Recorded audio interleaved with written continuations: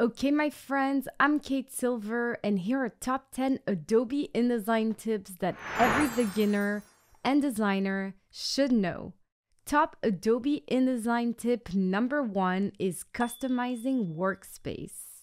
Now, what is a workspace? So, in Adobe language, a workspace is like a virtual desk where you get to choose which equipment and tools you would like to have on display. And in terms of Adobe InDesign, you get to choose which panels you would like to have on display. Now, there's a series of existing default workspaces that you can choose from.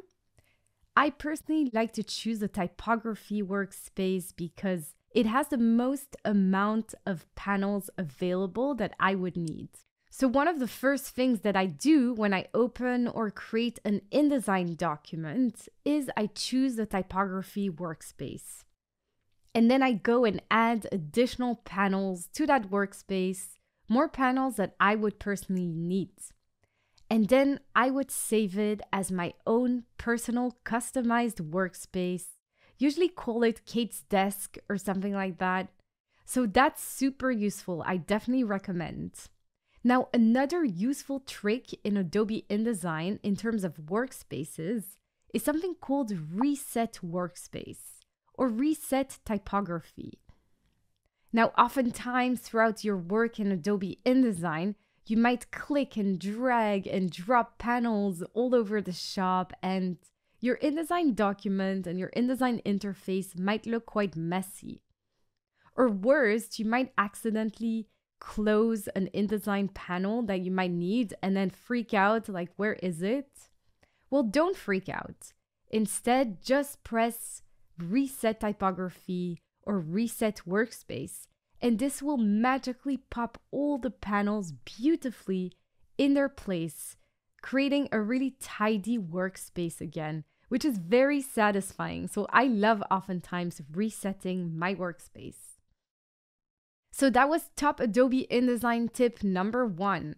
Moving on to top Adobe InDesign tip number two, and that is mastering keyboard shortcuts. So if you know me and the way I teach, I love shortcuts. I just love a good old shortcut just to enhance and speed up our process, to make everything run smoother and faster, because I know that we live in a society where we're quite time poor. So any shortcut, any improvement of time is great. So I will give you a bunch of Adobe InDesign shortcuts right now that are very useful. So it's always a good idea to always go back to the selection tool. And therefore, the very important selection tool, the shortcut for that is V for very important. Another useful shortcuts that I tend to use very often is for placing images, and that is Command or Control D. Because we're placing a lot of images throughout our InDesign process, so it's a really good one to remember and will save you ample time. Another useful shortcut that I personally use is for print preview, and that is W. Now, I often revert from print preview to work mode to print preview and press W a bunch of times because I find it really important to have a little sneak peek at what my document would look like with all the hideous without all the hideous Adobe InDesign guides and lines. I quite like to look and have a peek at how my document would actually look like printed. Now, if you are curious about a lot more useful Adobe InDesign shortcuts, then you're in luck because I've compiled a list of all the super useful Adobe InDesign shortcuts, both for Macs and PCs, and it's free if you sign up to my Adobe InDesign course, my beginners or my advanced course. And throughout that course, I bang on and repeat the shortcuts over and over and over again. So eventually, my students will know all the shortcuts by heart, whether they like it or not. So, yeah, that was top tip number two. Top Adobe InDesign tip number three is using parent pages, aka master pages.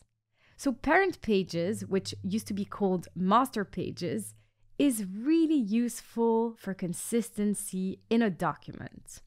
It's basically a template that allows you to repeat elements that will appear on every single page. So, for instance, let's say you would like a page number on every page, a logo, a header, a footer, an image. So, what you would do is add all these elements to a parent page or a master page, which is a template, and it will magically get applied to the whole document, which is amazing. So, use those parent pages. Top Adobe InDesign tip number four is using paragraph and character styles. Now, speaking of consistency and templates, you also have Adobe InDesign text templates. And these are called paragraph and character styles. And they're basically templates for text formatting. So let's say you want all your headings to look a certain way. So you would design your heading and then create a template or a paragraph style from that. And then you can neatly apply it to all the headings in a document. And you can do that for every single text formatting style for headings, for subheadings, for body text, for hyperlink, and much more. So I, I definitely recommend using paragraph styles to ensure consistency with text. And again, this will save you a lot of time for text formatting, which is awesome. Moving on to top Adobe InDesign tip number five, and that is the use of text wrap. I love text wrap. Text wrap is gorgeous. Text wrap allows you to neatly and beautifully wrap text around images, giving you that professional, aesthetic, and magaziney look. And I do allow my students to practice a bunch of times text wrap inside my exercises, my practice exercises in my Adobe InDesign courses. So check it out if you would like to learn how to practice text wrap. Moving on to top tip number six, and that is making grids, aka Gridify. Such a cool name. So, making grids in Adobe InDesign really enhances your layouts. You can easily make grids with Gridify and ensure that you have exact spacing between your text, between your objects and your images, and it looks great. This is another skill that gets practiced a lot in my courses, in my practice exercises. I think it's really great to use grids to create those gorgeous layouts throughout your document, so definitely recommend using those. Top Adobe InDesign tip number seven is aligning with Smart Guides and the Align tool. Now, I really think that in Adobe InDesign, it's super important to have your objects and your text and your images neatly aligned. One of the first things I look at when I see flyers or posters is whether objects are aligned. And I think this determines whether it's professional or not. And in Adobe InDesign, you have two align tools you've got smart guides and the actual align panel. Now, with smart guides, they're basically guides and lines that appear every time you move an object. Every time an object gets aligned to another object, then these smart guides will appear, telling you they're aligned. They also appear when you have equal spacing between your objects. Now, alternatively, you could also use the Align panel, which is similar to Adobe Photoshop and Adobe Illustrator, where you also have the Align panel. And with the Align panel, you have to select your objects and then click on one of the functions in the Align panel, and it will align your objects automatically accordingly. Top Adobe InDesign tip number eight is efficiently selecting content and containers. So, one of the things I see beginners and students get most frustrated and irritated with in Adobe InDesign, it's selecting. Selecting, selecting, selecting. And I often see that students struggle they struggle to find how to select an object correctly. Are they selecting the containers or the grid? And so that is why early on in my Adobe InDesign beginners course, I really make sure that my students have the foundation of selection right, that they feel comfortable with it because it will save them a lot of headache. Because there's a lot of steps involved in selecting properly. First of all, every object in InDesign is inside a container.